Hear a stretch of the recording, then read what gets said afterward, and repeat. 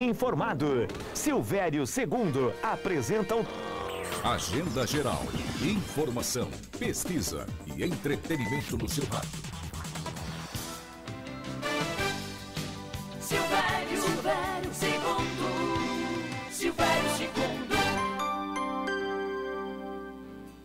Muito bem, 11 horas 37 minutos. Hoje, domingo 27 de dezembro de 2020.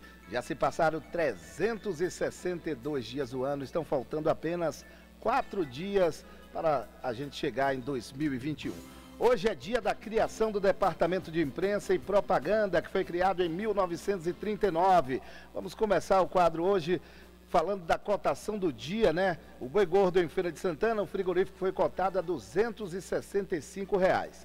Já o cacau em Léus, arroba comum, 220 reais. O café em Eunápolis, a saca com 60 quilos, 370. A farinha em Salvador, a farinha de primeira saca com 50 quilos, 150 reais. O feijão Irecê, carioca, a saca com 60 quilos, 290. O frango em Feira de Santana, o quilo vivo, vendido a R$ 4,25. O ovino ou caprino em Jequié, foi cotado a 240 reais. O milho em Ribeira do Pombal, a saca com 60 quilos, 63 reais. A soja em Barreiras, a saca com 60 quilos, R$ 121,67. E o suíno, o quilo vivo aqui na cidade de Feira de Santana, R$ 7,49. Agora o dólar. O dólar comercial cotado a R$ 5,17, o turismo a R$ 5,35 já o euro, R$ 6,33, a libra vale R$ 7,02. Pela variação da Bovespa, teve uma pequena alta de 0,1%. A Nasdaq nos Estados Unidos também teve alta de 0,26. O salário mínimo continua valendo R$ 1.045, R$ 1.045, né?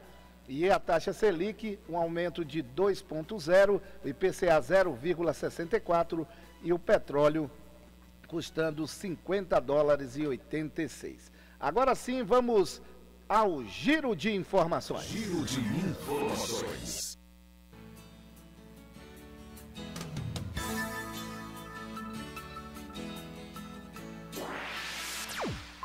Política.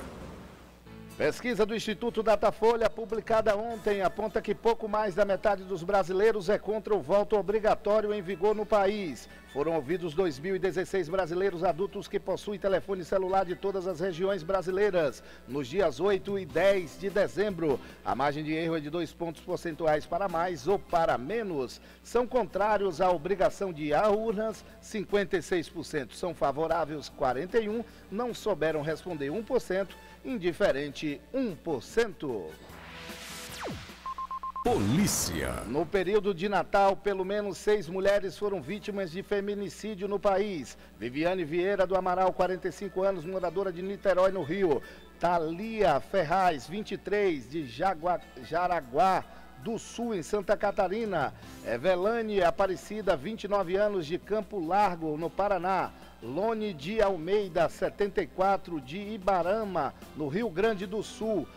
Ana Paula dos Santos, 45 anos, de Recife, Pernambuco. E Aline Arnes, de 38, de Santa Catarina, foram as seis mulheres que até este Natal viviam suas vidas separadamente, mas agora se encontram nas estatísticas do feminicídio no Brasil. Agenda Geral. Informação, pesquisa e entretenimento no seu rádio. Economia. A, a, partir de janeiro, o Fundo de Garantia do Tempo de Serviço, FGTS, poderá ser recolhido por meio do PIX. O Banco Central fechou um acordo com a cooperação técnica com a Secretaria Especial de Previdência e Trabalho para permitir o recolhimento por meio de novos sistemas de pagamento instantâneo. Segundo informações, a novidade está prevista para entrar em funcionamento no próximo mês. Tecnologia. Pesquisadores da Universidade de Toronto, no Canadá, publicaram um relatório detalhado e detalhando ataques que teriam espionado 36 jornalistas, produtores e executivos de comunicação, com exceção de uma jornalista da TV de Londres. Todas as demais vítimas têm vínculo com a emissora Al Jazeera do Catar. Segundo análise dos especialistas, as vítimas teriam sido atacadas por meio de uma falha de segurança no iPhone. Agenda Geral, sua revista eletrônica no rádio. Loteria. Duas apostas, uma de São Paulo e outra de Campina Grande, na Paraíba, acertaram as seis dezenas do concurso 2.329 da Mega Sena e receberão cada uma 26 milhões 798 mil 752 reais. As dezenas sorteadas foram 12, 14, 28, 42, 45 e 55. Aqui na teve 93 apostas ganhadoras, cada uma receberá 43 1.422 reais. A quadra teve 6.837 apostas e cada uma vai receber 843 reais. Internacional. O presidente da Argentina, Alberto Fernandes, anunciou ontem que o país começará sua campanha de vacinação contra a Covid-19 na próxima terça-feira. O país autorizou o uso da Sputnik. O acordo entre a Argentina e a Rússia prevê o fornecimento de 25 milhões de doses.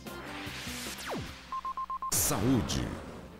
Após 80% dos funcionários testarem positivo para a Covid-19, a terceira Siletã aqui de só no dia 4 de janeiro, segunda-feira. O atendimento da unidade do Detran foi suspenso após resultado dos exames realizados pelo Hospital Geral Clériston Andrade dar positivo em 80% dos funcionários. Agenda Geral. Informação, pesquisa e entretenimento no seu rádio. Esporte. Pelo Campeonato Brasileiro da Série D, ontem nós tivemos Fast Clube 2, Globo 0. Pela Série C do Campeonato Brasileiro, o Paysandu venceu Londrina por 3 a 2. O Ituano perdeu em casa de virada para o Santa Cruz 2 a 1 e Brusque e Vila Nova ficaram no empate em 0 a 0. Pela Série B, o Figueirense venceu o clássico contra o Havaí 2 a 0 e o América Mineiro venceu o CRB 1 a 0 e assumiu a liderança do Campeonato Brasileiro da Série B. Pelo Campeonato Brasileiro da Série A, nós tivemos quatro jogos. O Atlético Mineiro bateu o Curitiba por 2 a 0. Fortaleza e Flamengo ficaram no 0 a 0. O Goiás venceu o Esporte Recife por 1 a 0 e o líder São Paulo venceu mais uma fora de casa, desta vez o Fluminense por 2 a 1. Agenda Geral, sua revista eletrônica no rádio. Tempo e temperatura.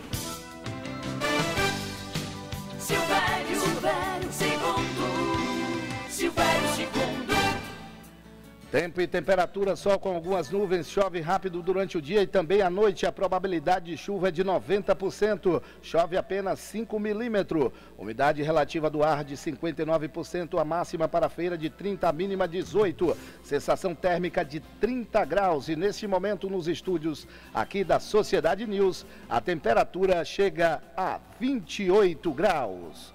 Este foi o Agenda Geral de hoje.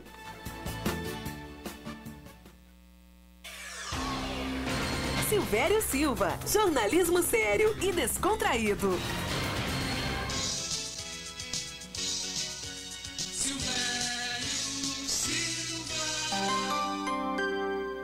Onze horas 45 minutos.